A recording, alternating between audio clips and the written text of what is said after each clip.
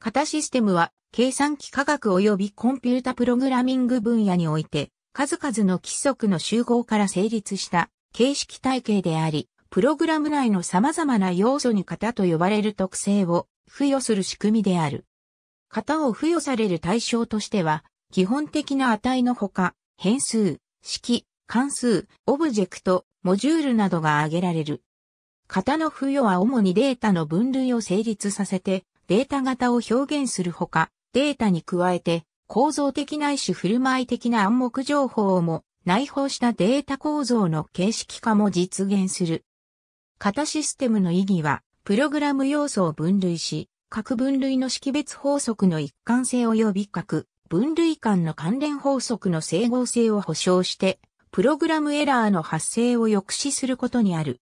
型システムは、数学基礎論、または数理論理学で扱われる型理論に基づいて構築されたコンピュータプログラミング用の形式手法である。型の例プログラミング言語は様々な値を扱う。三角関数は不動小数点数を引数に取り、不動小数点数を返す。先頭の文字を大文字にする関数は文字列を引数に取り文字列を返す。ユーザーからの入力を数値として扱うためには文字列を解釈して数値を返す関数が必要である。ここで3.14やホゲといった値について、不動小数点数や文字列といった種類に分類して扱っているが、同じ種類の値であれば、同じ操作が可能である。この値の種類が型である。プログラムにおけるエラーは様々だが、型に基づく一連のエラーがある。単純な例としては、不動小数点数を表現しているワードを整数型として扱ってしまうといったようなものである。この例では0とプラス0.0のような特別な場合を除いて、大抵の場合は得られる結果は無意味であり、より複雑な構造を持った値の場合は構造を壊して不正にしてしまうかもしれない。このような異常をプログラムが起こさないことを検査するのが型検査である。プログラムを実行前に型検査を行うのが性的な型付け、性的型付けであり、プログラムを実行しながら型検査を行うのが、動的な型付け、動的型付けである。Java は一般に性的型付けであるが、ダウンキャストは明示する必要があり実行時に型検査を受ける。コモンリスプは一般に動的型付けだが、タイプスプシファイヤーという性的に型を指定する文法も持っている。といったように、ある程度は混在している言語もある。さらに、性的検査が行われるタイミングについても、コンパイル時の他リンク時やインタプリタのソースコード、読み込み時といった場合もあり得るため、簡単に見た目では分類できないこともある。片付けをさらに厳密に定義した区分として、型なしという区分が存在する。代表的な言語としては、スモーアルトック、BCPL、B 言語、アセンブリ言語などがある。スモーアルトックでは高速化のため処理系依存で実行時に型検査することがあるものの言語的には型検査がなく動的型付け言語のように文字列に割り算をするといった不正な操作をしても処理系が型検査して停止することはない。オブジェクト指向型の型なしの言語では処理系が型検査をしない代わり、ライブラリーで例外を投げて停止する。例えば Smalltalk ではオブジェクトに対し対応するメソッドが存在しないメッセージを投げると、最終的にクラスごとに定義した doesNotUnderstand メソッドに至る。このメソッドが例外を投げるようになっていればば、停止するがそうでなければ停止することなく走り続ける。型なしのオブジェクト指向言語は最適化がしづらい。反面、オブジェクトの操作を処理系に制限されないため使用者が後から自由にオブジェクトの操作を追加できる利点がある。型にまつわるものに限らず、一般にプログラムが言語で定義していない状態や言語仕様で未定義とされている状態にならないという性質。プログラムのエラーをランタイムやインタプリタが検出して異常終了するような場合も安全の側に含まれる。型にまつわる安全性が型安全性である。型安全でない例としては C 言語などにおいて32または64ビットの整数型と不動小数、点数型は暗黙的な型変換が行われることがある。この時に得られる根は主に処理系に依存する。そのため、この型同士で暗黙的な型変換を利用してしまうと、期待外れの結果になる。典型的な例として、プリンフなどで丸目処理をせずに表示すると生じる。また、法文で不動小数点数型をカウントに用いる場合でも、ループ回数が変わってくることがある。型安全性が実現できる内容は言語に依存する。なぜならば、安全性とは、言語仕様で未定義とされている状態にならないという性質である。つまり、言語仕様によって決定されているからである。型検査によって型安全性があるような型付けが強い型付け、ないものが弱い型付けである。例えば ML は性的で強い型付け、C は性的で弱い型付けである。強い型付けの利点としては、型検査時の決定的な型保証による実行時の型不一致による不正動作の抑制がある。型検査時に型の機能を決定させているため、実行時の型変更は許されないと同時に予期しない、動作も起こせない。一方で、弱い型付けの利点としては、C の構造体で見られるような型の一部の機能が一致していれば厳密には型が不一致であっても、その機能が扱えるというものがある。実行時の型変更を認めることにより、柔軟な扱いを可能とする。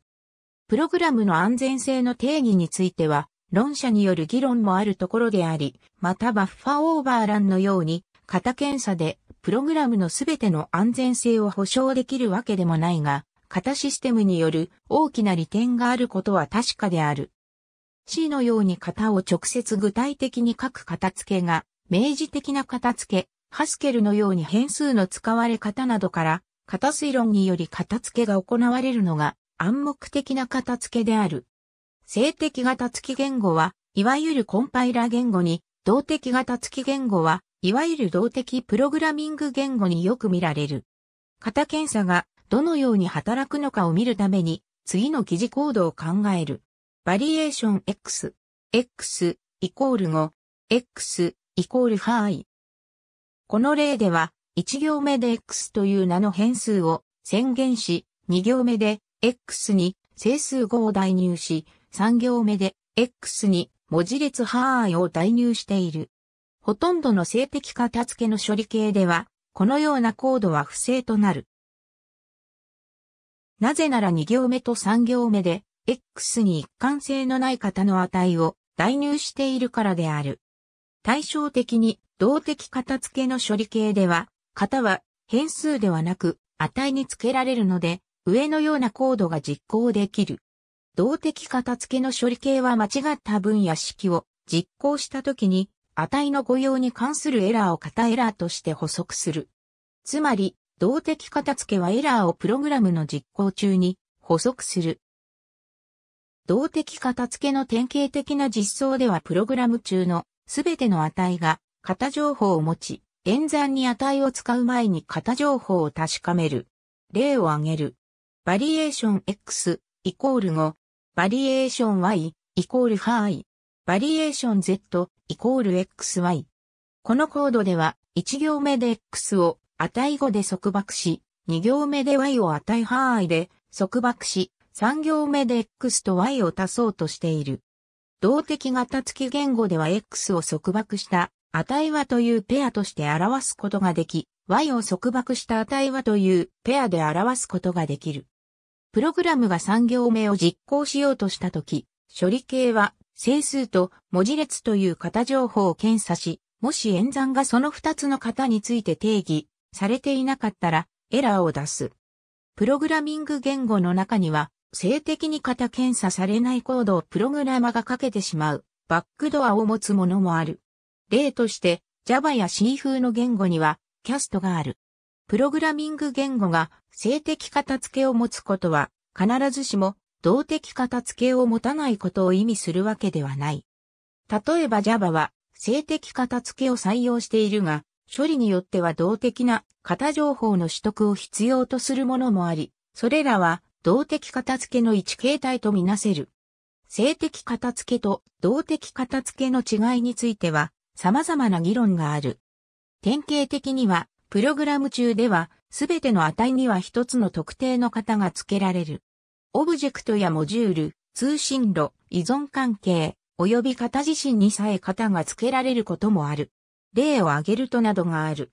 プログラミング言語ごとにある型システムは、型付けされたプログラムがどのように振る舞いうるかを規定し、その規則から外れた振る舞いを不正であると判定する。型システムより流度の小さいコントロールは、エフェクトシステムが提供する。性的片付けか、動的片付けかの選択はいくつかのトレードオフを必要とする。性的片付けは、型エラーをコンパイル時にある程度確実に発見する。よって、最終的なプログラムの信頼性を上げるはずである。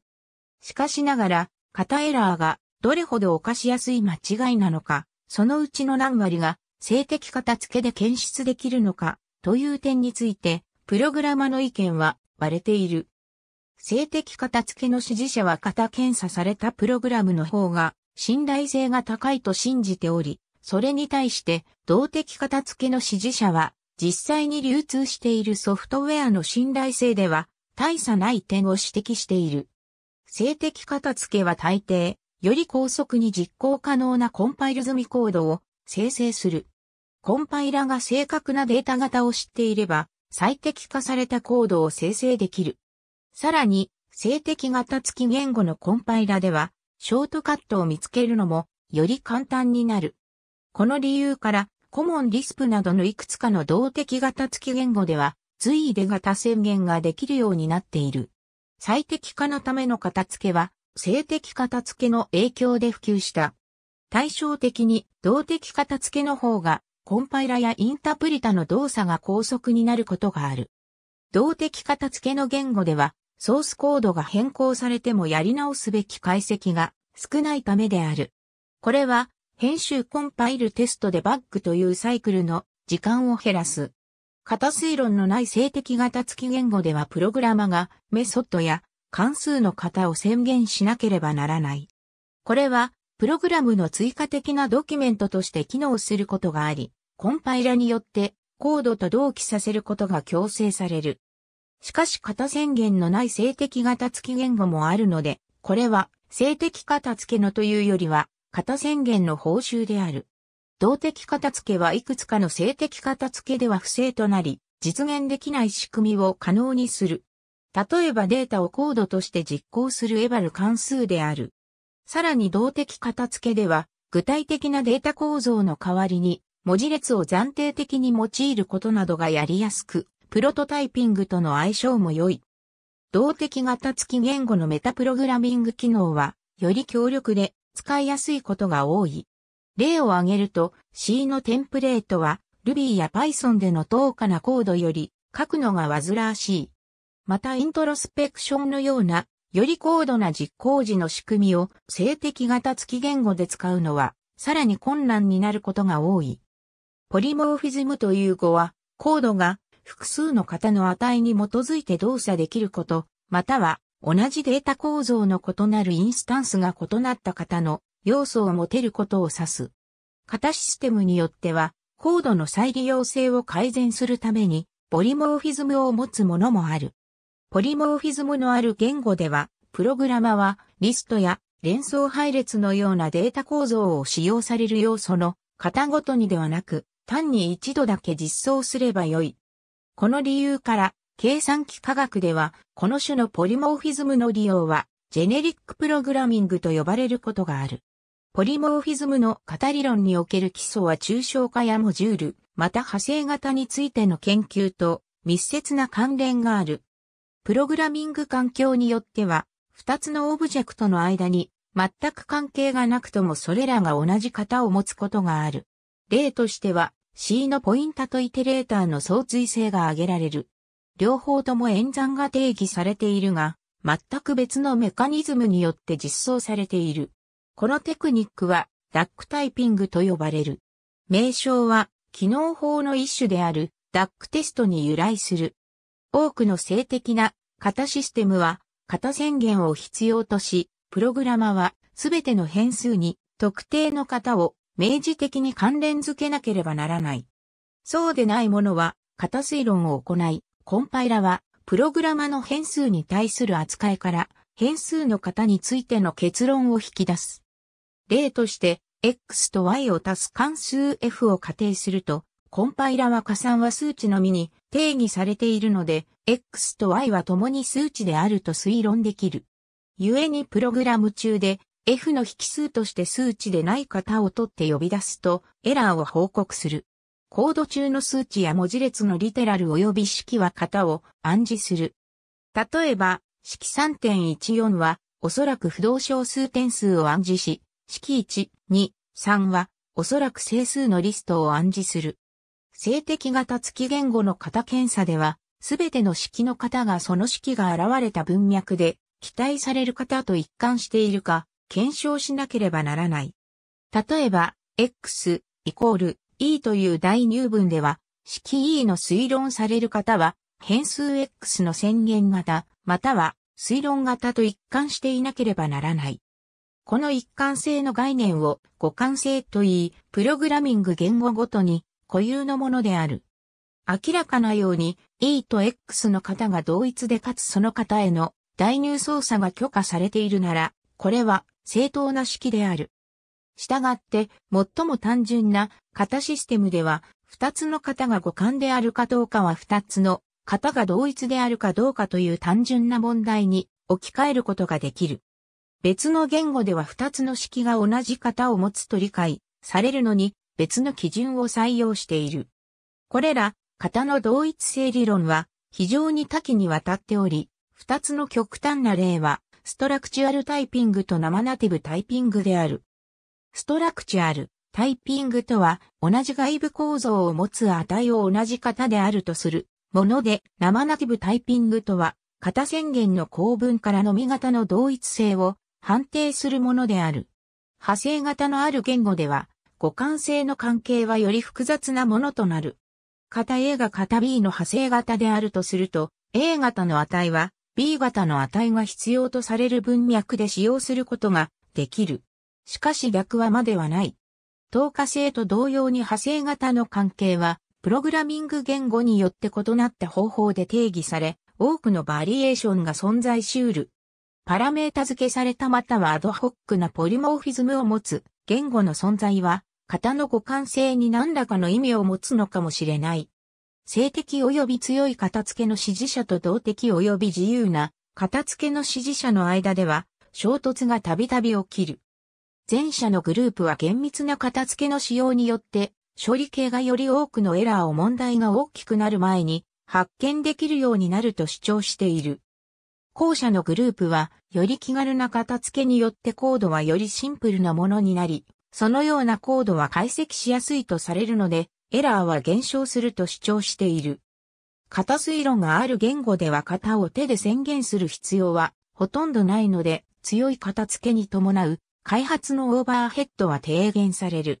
個人がどのグループに分かれるかは、開発しているソフトウェアの種類やチームのメンバーの能力、他のシステムとの対話性の度合い、開発チームの規模などによることが多い。